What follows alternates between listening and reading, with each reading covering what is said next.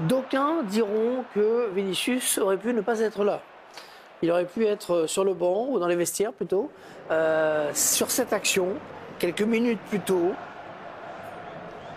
53e minute, il va y avoir euh, euh, ce double choc. D'abord la faute dans le dos de, Vinicius et surtout la rébellion derrière. Vous, disiez tout à l'heure hors Habib, dans 95% des cas en Ligue des Champions, ça ne pardonne pas. Non, 99,9% des cas, si c'est pas le Real Madrid, il y a rouge. C'est une réalité. Déjà, il y a jaune sur la, la bousculade parce qu'elle est vers l'arrière. Et après, si on doit revenir avec le VAR, le VAR doit sanctionner d'un rouge parce que l'acte de Vinicius de prendre avec ses deux mains au niveau, vous le voyez, de la gorge, c'est pas un acte aujourd'hui juste d'une poussette. C'est à... au niveau de la gorge et donc c'est très dangereux. Avec et Orban, ça vaut le rouge. Qui n'est pas ça, très vindicatif, qui parle, mais enfin qui, se, qui, ne fait pas de gestes vers lui non plus. Non, non, c'est une... allez pour être un peu plus juste, on va dire jaune plus jaune. Voilà, jaune, jaune plus ouais. jaune plus jaune et c'est égal rouge, hein, de jaune. Ouais. Ciné, euh, vous, vous confirmez, euh, et David, sur le, la foi de l'expérience hein, qu'on a de la Ligue des Champions, euh, euh, surtout au niveau européen, et où on fait vraiment pas de cadeaux. On se souvient de, je me rappelle de Verratti face au, face au Real au Parc des Princes. Enfin voilà, généralement la moindre petite escarmouche en Ligue des Champions, ça dégaine. Hein.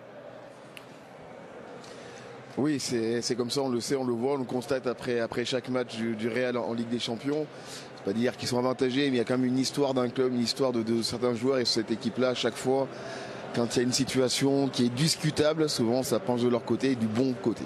Mais ça intervient trois jours aussi après une décision qui était contre le Real Madrid et qui a fait le tour d'Europe. Donc les arbitres aussi savaient que les Madrilènes s'étaient estimés lésés il y a quelques jours en championnat. Ça a peut-être pu jouer aussi. Vous croyez que ça a pu jouer ça vraiment? Je sais pas, non, non, non, non, ça n'a rien à voir. C'est la Ligue des Champions. Italien, non? Mais euh, ce que moi, je, je l'ai vécu avec Arsenal à, au Camp Nou. Van Persie n'a pas entendu euh, le coup de sifflet de l'arbitre, il y avait 100 000 spectateurs, on était disqualifiés à ce moment-là. Éliminé il, euh, il, a, il, a, il, il, a mis une, une, frappe après le coup de sifflet de l'arbitre. Il a pris le deuxième carton jaune qui est synonyme de rouge. Après, jouer au Camp Nou à 10 à cette époque-là, c'était impossible. Alors qu'il n'avait pas entendu qu'il n'avait pas entendu un coup de sifflet. Là, il y a une poussette. Pour moi, il mérite une sanction. Ouais, Barça, Real, ouais, comme quoi ça peut arriver. C'est un combat. Les, hein. les, deux cadors de, de, du championnat d'Espagne, et pas seulement du championnat d'Espagne, voilà, souvent les, les, grands clubs ont, ont effectivement un, un, petit avantage. On va revenir sur l'égalisation assez rapide. C'est le paradoxe, c'est que Leipzig a, a buté, euh, a été incapable de marquer, et finalement, euh, à peine ils ont encaissé ce but, ils ont été capables d'égaliser. De, de, fort belle manière d'ailleurs, parce que la, la tête d'Orban, elle est particulièrement difficile à ajuster. Oui, c'est un ballon qui arrive dans la surface. On voit que Rudiger est au duel. Et c'est vrai qu'Orban passe devant Nacho. Et c'est ce qui fait que Leipzig revient. Ils reviennent très très vite dans ce match. Et on a même pensé à un moment donné le fait de revenir aussi vite qu'ils auraient l'opportunité d'aller marquer ce deuxième. On a l'impression que là, c'est un but qui est très difficile à mettre. Ils mettent le plus difficile alors qu'ils ont eu des situations dans ce match qui étaient bien plus simples. Il y a un double contact hein, de la part d'Orban. Tête-épaule.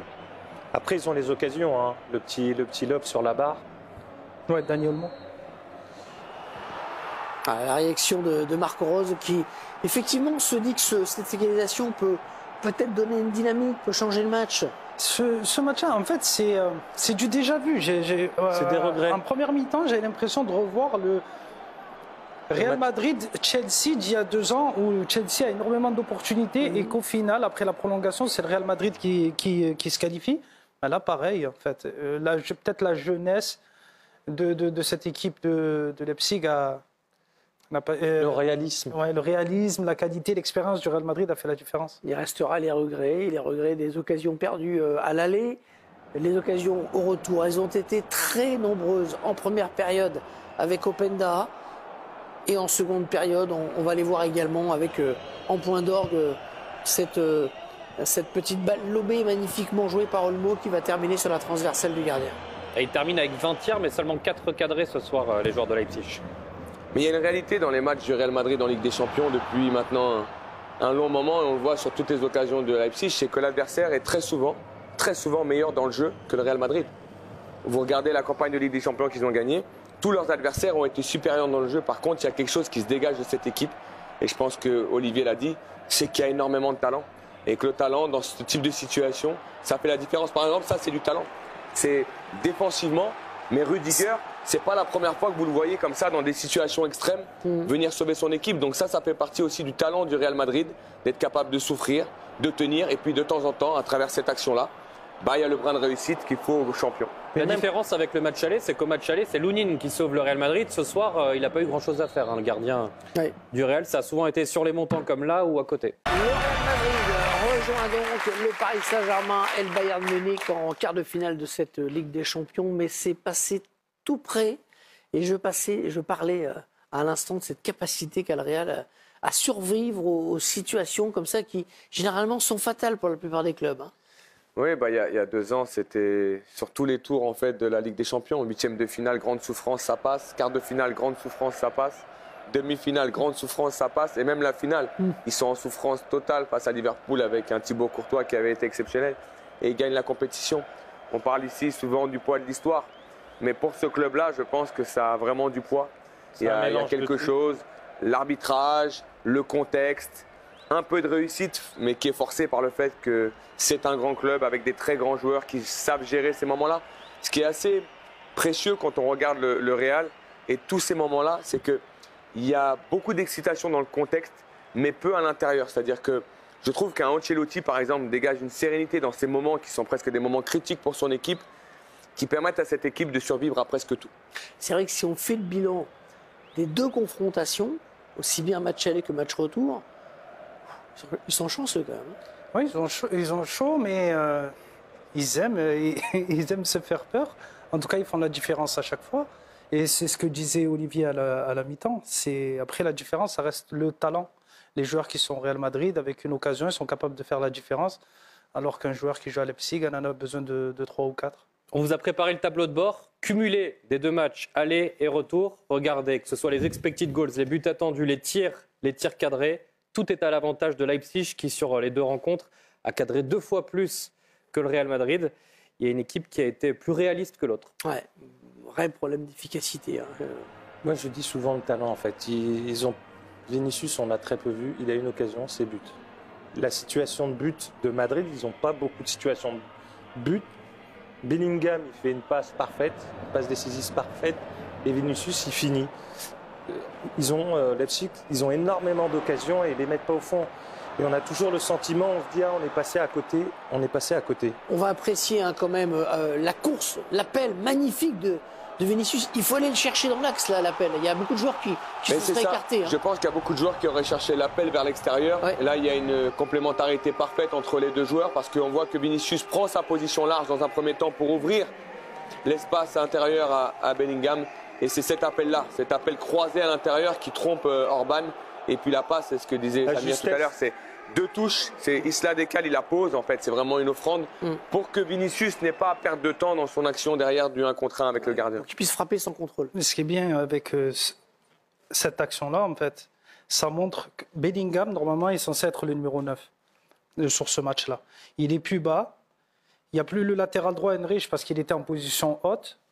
Vinicius fait sa course du côté gauche, donc il amène Orban, qui est un défenseur central, qui n'est pas forcément le plus rapide aussi, dans une, dans une zone où il est inconfortable, et il fait l'appel euh, axial. Après, il y a la qualité de passe de Bellingham qui la met parfaitement pour que Vinicius finisse en une touche. Il faut vraiment la mettre entre les deux. Là. Euh, euh, si on fige la situation au départ, on ne peut pas imaginer que, la, que la passe va, être, va être mise à cet, à cet endroit. hein, Ouais, c'est l'appel de Vinicius qui fait, qui Ouais. fait toute la différence. cette- qui crée cette- Les très C'est là où il a énormément progressé Ouais. aussi Vinicius. On parlait à- avant la rencontre de ses progrès depuis maintenant euh, plus de deux ans à la finition, mais c'est avec le ballon et aussi sans le ballon qu'il a fait des progrès, notamment avec Carlo Ancelotti. Les très grands joueurs jouent l'espace. On en parlait avec Kevin De Bruyne. Ils jouent pas les pieds, ils jouent l'espace en fait. Et ça, voir l'espace dans lequel va être votre partenaire une seconde et demie après, Il ça te met c'est dans un les talent exceptionnel. Il te met dans les meilleures conditions. Ouais, regardez. Et là, Là, il peut jouer dans les pieds par exemple pour du dans 1 les contre 1. pieds, ouais. Et puis là, il, va Là, il peut même lui jouer encore dans les pieds, mais en fait, il lui joue dans l'espace parce que s'il lui met dans les pieds, Orban revient. Et c'est ce qu'a dit Samir, c'est-à-dire que le temps de retard qu'a Orban, il l'a au départ et il l'a à l'arrivée par la position qu'il a au départ de cette action. C'est l'appel qui fait la passe. Ah, On a, on a parlé de l'appel de Vinicius qui fait la différence, mais aussi Bellingham. Bellingham, il ne se débarrasse pas du ballon. Il peut la mettre en une touche à Vinicius et le laisser aller à un contre un. Et non, il fixe, il fixe, il fixe, il fixe, jusqu'à forcer limite l'appel de Vinicius dans le bon espace pour pouvoir lui mettre. Mais, même quand tu es, es, dans une grande équipe, tu sais qu'à tout moment, tu vas marquer, même quand tu es en souffrance. Parce que devant, tu sais que même avec la moitié d'une occasion, tes attaquants ils vont marquer. Regardez le momentum, euh, on voit bien, hein, hors seconde période, la grosse domination de, Leipzig. Euh, David et, Siné, on, a eu le sentiment, nous, comme ça, euh, mais vous allez nous le confirmer peut-être au stade, que le, le, stade était un petit peu chloroformé, un peu groggy face à la prestation de, de leurs favoris. Ah, il y a même eu de très nombreux sifflets. Je crois que ça a commencé au bout d'une quinzaine de minutes. Donc voilà, ça devait être une, communion, ça devait être un jour de fête et le public madrilène était très très exigeant, mais c'est assez normal en étant Ligue des Champions. Ce qu'il y a, c'est qu'on peut remercier, vous l'avez montré, euh, surtout la maladresse quand même des attaquants euh, et notamment de Loïs Openda qui a eu les occasions pour, pour marquer sur les deux matchs. Il n'y est pas parvenu. Oui, c'est un peu, ça se répète avec le Real, comme vous l'avez dit sur le plateau, c'est-à-dire que c'est une équipe qui joue pas forcément très bien ces, derniers temps, pardon, mais qui, euh, qui, qui, marque. Et quand vous êtes une grande équipe, vous avez des grands joueurs, on les attend au bon moment, et c'est ce qui a fait la différence ce soir, vu le nombre d'occasions que s'est créé cette équipe de X10 et le nombre d'occasions que s'est créé l'équipe du Real. Si on regarde le match sans savoir qui a marqué, on pense que Leipzig va l'emporter. Finalement, ça sera le Real encore une fois. Merci David, merci euh, Sidney de nous avoir fait vivre euh, ce match plus animé que ce qu'on pouvait craindre. Hein. on a eu un vrai match euh, engagé, ouvert de, Ligue des Champions. À l'arrivée, le Real qualifié encore en quart. Comme toujours, ou presque pour le Real, ce sera la douzième fois en 14 ans que le Real euh, est au rendez-vous des quarts de finale. Et je rectifie Hervé. Hein. J'ai dit hier que le PSG ne devait pas prendre le Real Madrid. Ce Real Madrid, euh, ah je pense que ça peut passer. Le Real du soir on disait la même chose il y a deux ans. Oui, oui. exactement. Mais bon, je l'ai dit hier, donc je dis que le Real du soir, faut être honnête avec ce que j'ai vu du Real ce soir, c'est moins fort que hmm. ce qu'on a pu voir sur les phases de poule, par exemple. Ça fait moins peur, à l'instant T en tout cas. Waouh, que ce fut dur pour le Real de Madrid, que ce fut dur pour le Real? Le Real, les amis, le Real s'en sort très bien. Le Real est qualifié pour les quarts de finale. Le Real de Madrid fait match nul contre le RB Leipzig. On va en parler dans cette vidéo. Salut à toi et bienvenue dans cette vidéo. Dans cette vidéo, on va parler du Real Madrid. Mais avant de commencer, si tu me découvres à travers cette vidéo, ici on parle de foot. Ici nous on est passionné par le foot. Le foot c'est notre passion. Donc si tu es intéressé par la thématique et surtout si tu aimes ce de contenu, n'hésite pas à t'abonner, d'activer la cloche de notification pour ne rien manquer des prochaines vidéos. Si c'est fort, on est parti. Alors, le Real de Madrid, les amis, s'en sort très très bien. Le Real s'en sort très très bien on a vu une équipe du Real de Madrid malmenée par le RB Leipzig. Le Real de Madrid s'est fait malmener en première période. Le Real de Madrid c'est 0 4 les amis, 0 Je rappelle ici que le Real de Madrid joue à domicile. Hein. Le Real joue à domicile et tu joues à domicile, tu te fais bousculer ici. Tu te fais bousculer ici. Le Real de Madrid s'est vraiment fait bousculer par le RB Leipzig. Le RB Leipzig, ils ont vraiment ils ont tout donné, ils ont bousculé le Real Madrid. La preuve, c'était 20 tirs. 20 tirs. Parce que cette équipe du RB Leipzig a été maladroit. Leipzig paye son manque d'efficacité devant le but. Parce que au final, c'est 20 tirs pour seulement 4 petits tirs cadrés. 4 petits tirs cadrés, les amis. Loïc Openda a raté des buts immanquables. Openda a raté des buts immanquables. Donc, je trouve que si le RB Leipzig avait un peu plus d'efficacité, ils pouvaient vraiment, vraiment faire mieux. C'est-à-dire qu'ils pouvaient vraiment faire mieux, mais ils ont juste manqué d'expérience. Pour moi, c'est le manque d'expérience. Il y a des occasions immanquables. Il y a des occasions que tu ne dois pas manquer. Lorsque tu t'appelles le RB Leipzig, tu joues en Bundesliga, tu titis des équipes comme le Bayern de Munich. Il y a des choses que tu ne dois pas manquer. Et le RB Leipzig, ils ont carrément manqué des choses immanquables. Et pour moi, c'est le manque d'expérience. C'est vraiment le manque d'expérience. On a vu une équipe du Real se fait bouleverser, se fait malmener, se fait bousculer. Ce Real-là, on voit sur de matchs 40 fois. Hein. On voit sur de matchs 40 fois, c'est-à-dire une équipe du Real se fait bousculer, mais au final, ça remporte des matchs. Ça gagne des matchs. Au final, cette équipe remporte des matchs. Donc, c'est du Real de Madrid. Le Real de Madrid, c'est une équipe qui a de l'expérience. Le Real de Madrid, c'est une équipe qui est très costaud. C'est une équipe qui est difficile à battre. Très, très. Lorsque moi, je regardais le match, moi, je n'imaginais pas le RB Leipzig éliminer le Real de Madrid. Parce que même si Leipzig revenait à 2-1, même s'il marquait le deuxième but, je pense que le Real de Madrid devait gagner aux prolongations ou bien au tir au but parce que ce club a tellement d'expérience. Ce club a tellement d'expérience. On a vu sur deux matchs au moins 40 fois. On a vu sur deux matchs au moins 40 fois. C'est-à-dire, on voit une équipe du Real qui subit, qui subit, mais à la fin, c'est le Real qui se qualifie à la fin. Je pense notamment à la demi-finale face à Chelsea il y a deux ans, deux ou trois ans. C'est une équipe vraiment qui a de la réussite. C'est une équipe vraiment qui a de la maîtrise. C'est une équipe qui sait gérer sur des situations. C'est une équipe qui sait gérer ce genre de. Donc, le Real Madrid, c'est une équipe qui a beaucoup d'expérience. Leipzig, ils ont joué ce qu'ils pouvaient jouer. Ils ont vraiment joué ce qu'ils pouvaient jouer. Ils ont vraiment joué ce qu'ils pouvaient jouer. C'est juste que ils sont tombés sur une équipe qui était expérimentée. Après, je voulais parler d'un fait de match. Vinicius. Pour moi, Vinicius mérite de prendre le carton rouge.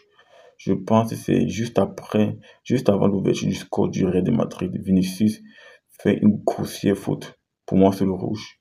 Parce que c'est le Real de Madrid. Parce que le Real de Madrid joue à domicile. L'arbitrage était avec eux.